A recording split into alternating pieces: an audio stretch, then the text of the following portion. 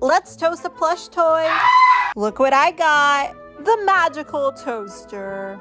Where we insert the bread and a plushie comes out. It won't work. Of course it will, Cheesevald. And if it works, guys, you're gonna have to subscribe to my channel and double tap the screen. Let's do it. I'm dressed in character as a chef because we're in the kitchen, you know. And here's the toaster.